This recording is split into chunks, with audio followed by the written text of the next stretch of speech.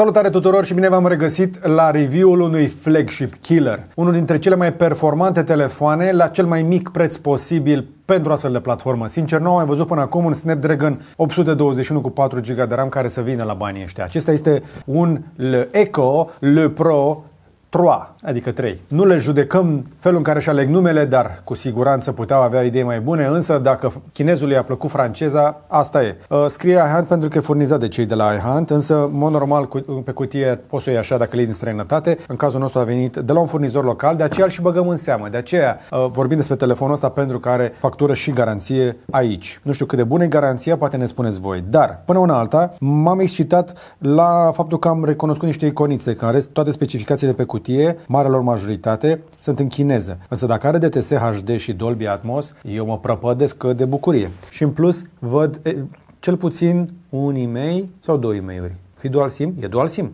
O să vedem dată mai multe. Așadar, Pro 3 de la Le Eco și în cutie. O să-l găsești direct așa, cu o folie pe ecran, ne-am dat-o jos pentru că l-am pregătit evident pentru review, ca de obicei, și în plus o să-l vezi într-o husă din uh, silicon, transparent. Majoritatea producătorilor chinezi mai nou își trimit telefoanele așa la destinație, uh, nu doar că arată bine și protejează telefonul, dar uh, îl protejează și la transport și te scutește pe tine de bătai de cap, pentru că cele mai multe accidente cu telefoanele noi se întâmplă în prima săptămână, că nu știi cum, nu, încă nu te obișnui cu, cu el. Primul contact, un telefon arătos, un ecran negru, margini aurii și pe spate un aluminiu, dar mai bine să dăm jos acest uh, silicon. Senzor de amprentă, pe lateral slot de uh, carduri și de SIM, pe dreapta standby volum, USB-C cu încărcare rapidă, un flagship foarte bine finisat. Un telefon la ordinea zilei, cu finisaje de bună calitate, un auriu care duce puțin către cupru, către uș- foarte o, ușoară tentă de roșiatic, care arată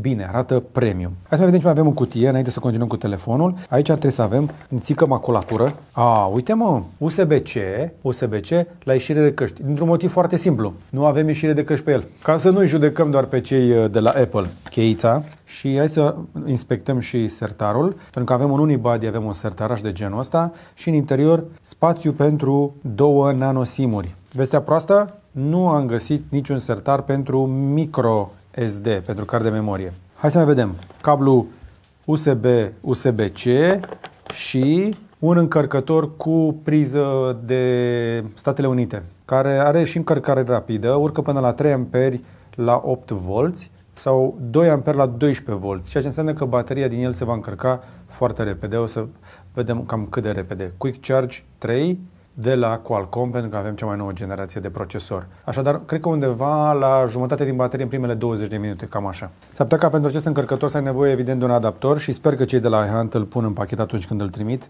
ca să nu te enervezi când desfaci cutia. Însă îmi place adaptorul ăsta. Aș vrea să-l încerc la Mac. Oare scoate sunet? Pe asta trebuie să scoată, nu?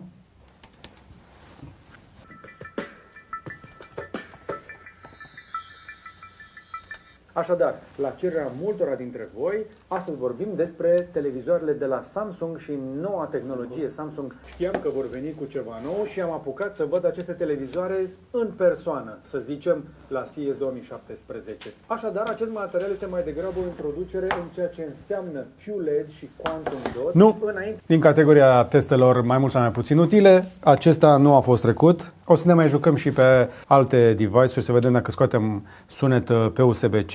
Ar fi fost drăguț. Deși am ieșire de căști, dar na. Revenim la telefon. Așadar, un device cu un aluminiu frumos, cu margini lucioase, de 175 de grame, gros de 7,5 mm. Tăieturile de pe lateral mi-aduc aminte un pic de Huawei, fața poate semăna cu orice, iar spatele cu un Mate S, de la, tot de la Huawei. Nu, nu cred că i-au copiat, evident, dar toată lumea face cam același lucru, un unibody de bună calitate, exact cum vă spuneam. Hai să vorbim despre ce ne interesează cel mai tare. Când te uiți așa la el de la distanță, nu ai spune că este echipat cu un ecran mare. Un ecran care până acum 2 ani era considerat de fablet. Vorbim despre un ecran de 5,5 inch în diagonală, Full HD, cu tehnologie IPS LCD LED. Hai să-l vedem.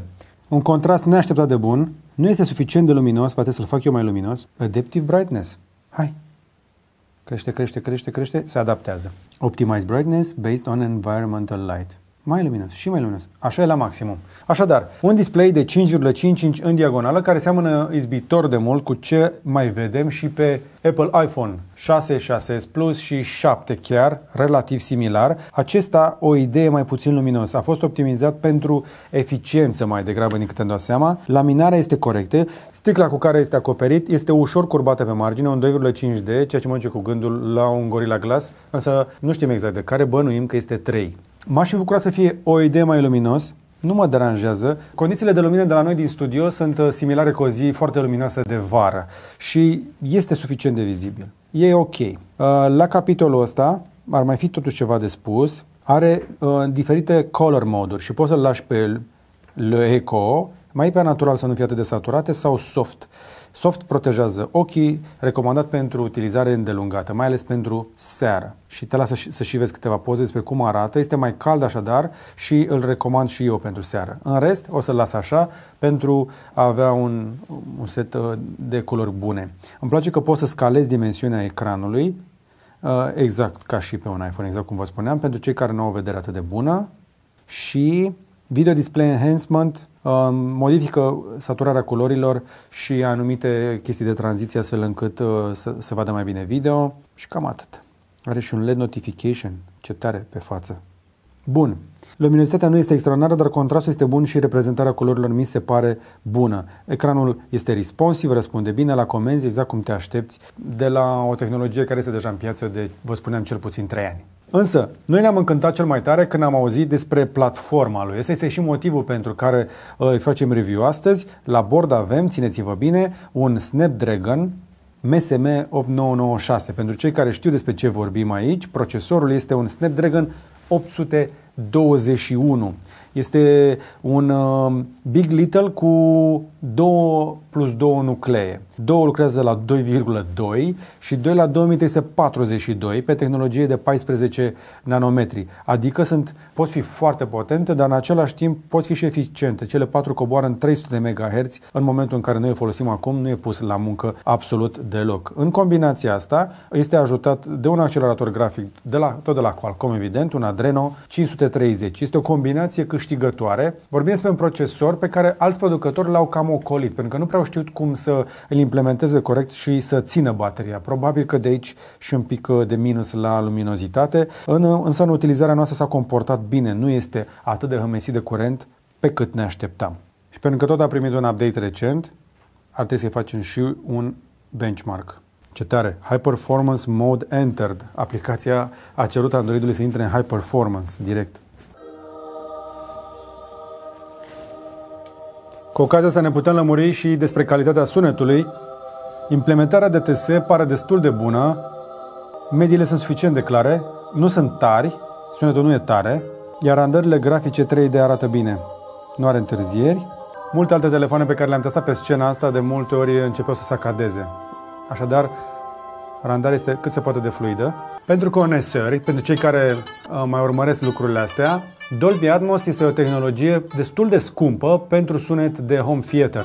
Implementarea pe un telefon, la prima vedere, poate fi o prostie, însă sunetul are spațialitate. Nu cred că este o experiență de home cinema, dar cu siguranță este un sunet neașteptat de bun de pe un telefon, cel puțin la capitolul ăsta de stereoscopie. Și cu ocazia asta, în timpul uh, benchmark-ului, poți să ne seama și unde au pus procesorul. Este aici undeva lângă cameră, în zona, în partea de sus. Țineți-vă bine! Acesta e unul dintre cele mai mari scoruri pe care le-am văzut până acum pe un telefon testat în acest studio. 163.542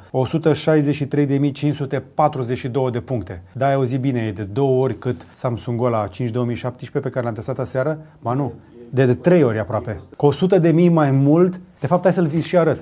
No comment. 60.724,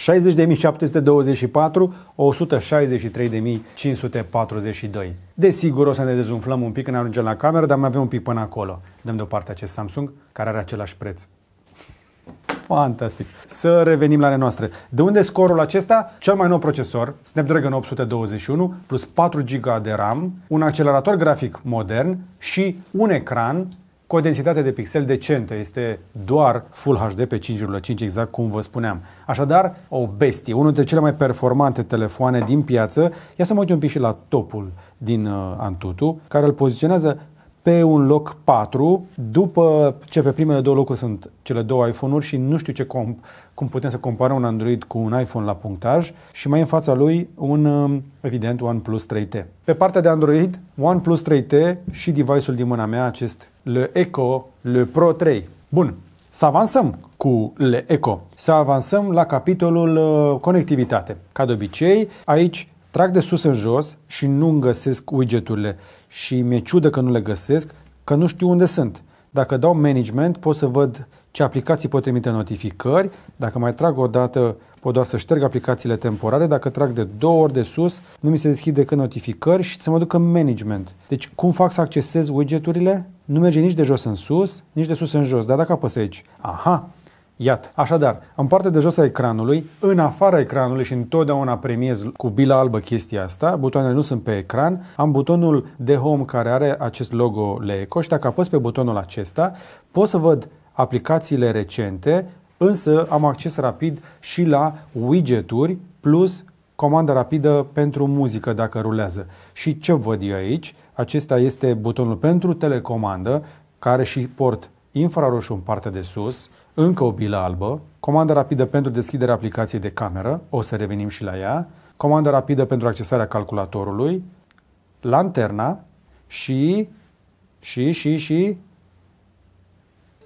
aplicația de screenshot. După care, aplicația aceasta de screenshot te lasă să selectezi bucata din ecran care te interesează, direct din Android. Îmi place că am găsit funcțiile bine grupate aici, așadar niște funcții rapide și apoi widgeturile, printre care poți să și scrollezi. Acces la Wi-Fi, Uh, conexiunea de date, auto-rotate, modul airplane mode, do not disturb, GPS, battery assistant, am nevoie de chestia asta, funcția de hotspot, Bluetooth și poți să le și sortezi și mai am un virtual button, așadar dacă apăs pe volum plus și pe asta de închis, partea de jos nu va funcționa ca să nu atingă întâmplător ecranul. I understand. Ia să vedem. External buttons disabled. Așadar, dacă apăs aici, nu vor funcționa. Știi, ce chestie! Uite niște funcții deștepte, bine integrate, iar aici am acces din nou rapid la cele mai recente aplicații cu iconițe de desubt, ca să te seama ce e acolo. Și dacă apăs mai lung pe butonul de întoarcere, se stinge ecranul. Dacă nu vrei să apeși pe ecranul de standby, foarte frumoase implementările astea, îmi place. Ia să vedem ce se întâmplă dacă apăs pe butonul de Home. Deschide direct funcția de screenshot. Și dacă ține apăsat mai mult pe butonul acesta contextual, am acces la widgeturi, teme, wallpaper și poți să sortezi iconițele de pe ecran. Așadar, îmi lipsește zona asta de notificări, uh, pardon, de widgeturi din partea de sus clasică, așa cum trăgeam de aici, însă faptul că pot să o accesez cu o simplă apăsare de buton, din nou, îmi place. Câteva implementări drăguțe. Aici pot să și văd cât RAM mai am disponibil din cei 4 GB 1,76 disponibil, așadar poți să faci multitasking într-o veselie pe acest device. În rest, alte implementări, nu am nimic pe ecranele laterale, este un pic schinuit, dar în rest Androidul 6.0.1 are puține intervenții de la Leeco. Language and Input, engleză, data și ora, are Google instalat pe el, asta este o chestie importantă. Toate lucrurile sunt destul de bine uh, puse la un loc și am și un Le Cloud, Account Management, conturile instalate, Așadar, aici pot să adaug uh, funcțiile pe care vreau să le accesez rapid din control center-ul de acolo. Am inclusiv funcții de scan QR code, funcții de wireless display, așadar are și Miracast, funcțiile de screenshot și așa mai departe. Multe, multe funcții și îmi plac, cele mai multe îmi plac. Dual App, cât de tare e asta. Sunt tare curios dacă funcționează și pe Instagram. Ia să încercăm să instalăm Instagram-ul. Nu, se pare că suportul este doar pentru WeChat, pentru cei care au mai multe conturi. Însă mi-ar plăcea o astfel de implementare și pentru alte aplicații. Dacă vrei să faci așa ceva, spre exemplu, în acest moment, fără aplicații suplimentare, poți să o faci doar pe Samsung-uri în MyNox, unde mai vorbim într-un alt clip despre asta. Bă, am lăutat telefonul ăsta deja. Hai să mergem însă la cameră. Acolo mă aștept să capăt primele dezamăgiri. Nu poate să fie toate chiar atât de bune, nu-i așa? Uh, însă ne-am scos uh, telefonul afară la o galerie de poze și o să vă punem galeria pe site ca să vă puteți lămuri. Pe partea de selfie avem o cameră de 8 megapixeli cu diafragmă 2. Pixelii sunt de 1,4 micron, ceea ce înseamnă că sunt destul de fini, ceea ce înseamnă că cei 8 megapixeli promiși pe față s-ar putea să fie destul de aproape de realitate. Ia să vedem dacă avem un 8 de adevăratele. Ce puțin încerc să-mi dau seama așa la ochiometru. Hopa, beauty level automat la 3. O să scad beauty level la off ca să am definiție maximă. Mă, nu e rău. Este dacă avem și un HDR decent pe față, cu lumină puternică din spate, În mod normal, că nu ai lumină puternică din spate, camerele sunt puțin în dificultate, însă se pare că se descurcă, așadar avem și o compensare bună a luminii de fundal. Video pe camera frontală până la Full HD 1080p, camera principală care cameră principală are 16 megapixeli și noi din nou am, am scos-o la teste din uh, o diafragmă de 2.0 și are un dual LED flash aici, autofocus și filmare 4K. Nu am reușit să ne lămurim dacă are stabilizare optică, însă cam așa arată câteva poze pe care noi le-am făcut și ce să nu seama așa rapid dintre ele. Pe partea de macro, în lumină naturală se descurcă excelent, poză foarte bună, un pic de filmare, acesta este un slow motion și este un pic granulat pentru că a scăzut rezoluția rolling shutter ca la Balamuc. Obiectele în mișcare așadar nu sunt foarte clare dacă trec repede prin fața ecranului. O filmare în parc, în Cismigiu și hai să vedem și câteva fotografii. Claritatea destul de bună, culorile însă sunt destul de plate. Au oarecare tărie, însă sunt către natural. Asta este o poză făcută fără HDR împotriva luminii, iarăși un cer foarte luminos, copaci au ieșit negri. Destul de greu să expui corect într-o zi de iarnă cu lumină pe cer. Din nou, culori destul de plate, nu sunt foarte vibrante, însă sunt destul de aproape de natural, pentru că în viața reală culorile nu sunt chiar atât de vii și claritatea este bună, sunt destul de definite pe diferite expuneri. Ia uite, cu HDR deja avem o, o, o calitate mult mai bună. Pentru toată galeria de fotografii, a, uite și o panoramă frumoasă, uh, te încurajez să intri uh, pe blog ca să te lămurești cu ochii tăi. Așadar, nu avem o cameră excepțională, dar avem o cameră cel puțin decentă, bună. Și cu asta ne apropiem de final. În înainte să-ți spun de baterie, 4000 de mAh într-un device de 7,5 mm și o țiplă pe care pot să o dau jos. Ia uite ce frumos e. Îmi place. Chiar îmi place device-ul ăsta. Un device surprinzător, un device care se mișcă bine, o grămadă de opțiuni instalate pe el. Sunt tare curios cum se mișcă însă în viața reală, în utilizare intensivă. Sunt curios dacă duce o zi cu 4000 de mAh atunci când are un Snapdragon 821 și 4 GB de RAM și scoate un scor fulminant în Antutu. Cu optimizări suficiente ar să fie în regulă, însă aș mai vrea un second opinion. Dacă este cineva printre voi care a cumpărat deja un Le Pro 3 sau altceva de la Le Eco, Așteptăm impresiile voastre mai jos la comentarii. Ca de obicei, nu uitați să dați un like, un share și un subscribe dacă mai vreți astfel de teste. Iar până data viitoare, numai bine!